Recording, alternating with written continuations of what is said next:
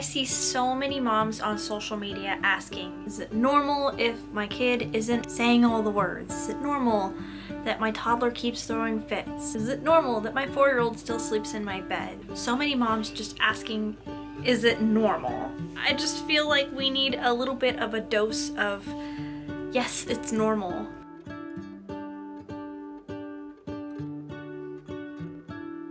I feel like there's so much anxiety that happens when you're a first time mom. And I know for sure it was for me. I was so paranoid that like if my son went to daycare with mismatched socks, somebody was going to think bad of me and somebody was going to think that I wasn't taking good care of him. And I, I would be anxious about every single little thing. I would check his breathing all the time. I would compare him to other kids in his class and I would just wonder like is he where he's supposed to be? Is there something that I'm not doing right? And it was just really terrible. And now that I've had my second kid and I've spent a bunch of time around other kids, I just know that kids all develop at different stages.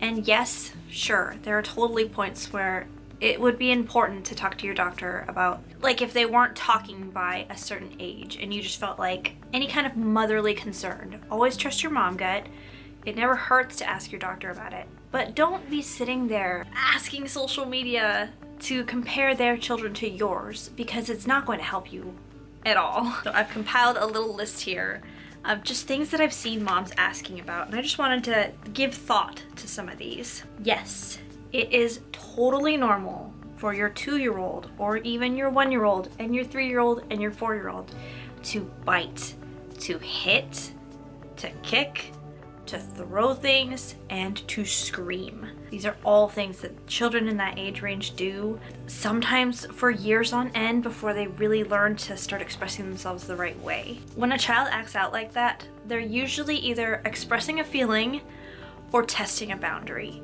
It doesn't mean that your child is like overly aggressive or that there's anything that you need to worry about. Your job when your kid acts like that is to show them the way that they should be expressing their feelings or if you know they're just testing you to just lay down that boundary and let them know um mom's gonna react the same exact way every time so let's stop that. Something that i learned really early on teaching daycare like before i even had kids of my own is that toddlers absolutely thrive with boundaries you would think that it's just easier to not tell them no and it's just easier to kind of like let them do whatever. But actually, you'll find that if you lay down solid boundaries and you stick to them, your kids will be better behaved. I like it was mind-blowing for me to witness this as I laid down boundaries in my classroom and I didn't budge. And I saw and I mean there was pushback at first, but then after they realized, "Oh, Miss Jessie isn't going to change her mind," uh, they all started acting the way that I needed them to act and I've seen it with my own kids too. Kids thrive when they feel safe within the boundaries that their parents are making. So don't worry, don't worry. If, if your kid is going through a hitting phase right now or a screaming phase right now, I have actually made a video just about that and I'll put it up here and in the description for you. It might last a long time. It might last months. It might even last a whole year. It's not abnormal and it's not something that you need to be concerned about as like part of their character. It's just something that toddlers do. It's just something that they have to work through and that you just have to guide them through and love them through until they're done with that phase and they start expressing themselves appropriately. Another thing that I'm seeing really commonly asked, and I actually struggled with this really hard myself, is is it normal for kids to go through periods of not eating like at all? And yes, it is totally normal for toddlers to go through periods of not wanting to eat anything. And I, I seriously mean, like, we went through a months long period where my son would only eat graham crackers, oranges, and peanut butter and jelly sandwiches. And anything else that I offered him was just a no-go. I got really nervous and anxious about it. Like, I would cry about it. Um, I've actually talked about this in another video too about picky eating and some things that I, you can try, some things that I tried to get through that phase. But it's really normal. Unless your kid is losing like a massive amount of weight or if your pediatrician is concerned, just try to write it out. I know it's scary and stressful, but it really is normal. We went through that phase for, I don't know, a really long time, like at least six months. It was a really long phase.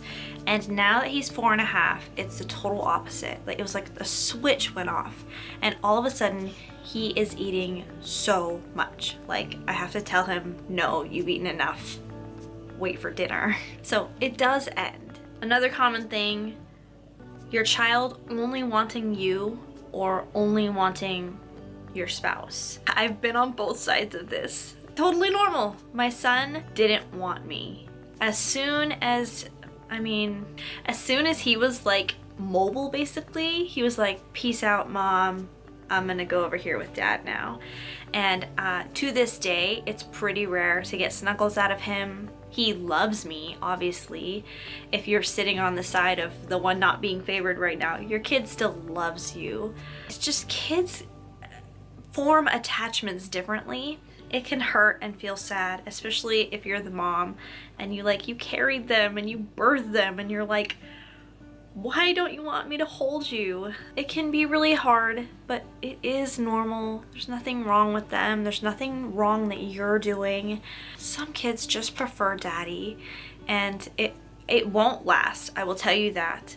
And I can't say that from experience because my son still totally favors my husband. But I've seen other kids go through phases and I've had moms older than me let me know like over time it'll kind of go back and forth. And if you think back on it I can actually think back on my childhood and there are totally times where I was like really favoring my mom and then totally times where I was really favoring my dad. And if you take a second and think about it probably you could say the same thing. There's just seasons of life where mom's more fun or dad's more fun and it's not a personal thing. It's just kind of like the waves of childhood. Try not to take it too hard if you're on my side and try not to take it too super personally. I know, I, I really do know that it's hard. A little thing that might be able to help is if you could get your partner to kind of help the relationship a little bit. Like if your child's hugging on daddy, maybe daddy could say, oh, that was such a nice hug. Can mommy have a hug like that? And kind of like encourage your child to share more love with mommy. That might be something that could help. What's funny actually is, so my son has always favored my husband. Like from the almost the very beginning has always favored my husband. And my daughter, my youngest child, actually favors me. Like she's almost three now and it's always been me. She's always been a mommy's girl. So maybe you'll have maybe you'll have it like that where one kid really favors daddy and the other one, one really favors you. And again, it's not a personal thing. It's just kind of like a how attachments are formed thing. I think it kind of boils down to just accepting that the picture that you had in your mind of what your relationship with your child is going to look like might not be what you thought. And you might need to find a new way to feel close to them. Like if they aren't really big, like my son, really not big on snuggles and hugs, absolutely loves it if I get on the floor and I pretend to be a cheetah. And we he will play with me like that forever. Sort of like finding their love language. There's other ways that you can have good, deep relationship with them. So I hope that's encouraging. I, I know it's hard. Okay, the last thing that I noticed, just huge trend on social media, people asking about, is it is super normal for your kids to not want to part with their comfort items. I'm not too sure why this is a concern, but I'm just seeing it a lot. Yeah, your child's not gonna wanna give up their bottle. They're not gonna wanna give up their binky or their breastfeeding or their special blanket. These are things that they've literally had as core comfort items since birth probably. And so it's a lot to expect from them to just have them grow out of it when you think that it's time for them to grow out of it. My son had a binky and a special blanket until he was three and a half. Yes, I did wean him cold turkey from that from the binky, never his blanket. I don't personally believe in taking away blankets.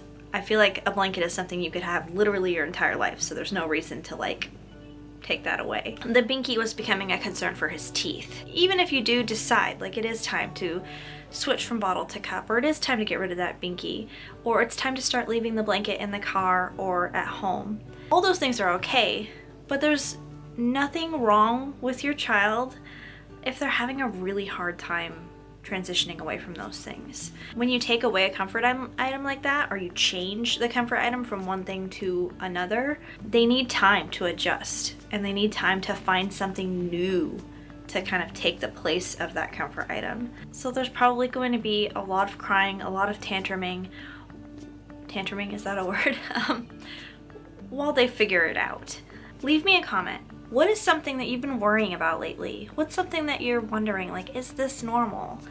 Or what's something that you've heard someone else say? Like, if you're a little bit more of a seasoned mom, what's something that you've seen young moms say? Like, ah, oh, is this normal? And you just want to, like, offer a word of encouragement about that. Leave it in the comments, and that way anybody that watches this video can go see and hopefully feel heard and feel a little bit more encouraged as they are just working out how to be a new mom. If you're brand new here, this is like the first video on my channel that you've seen.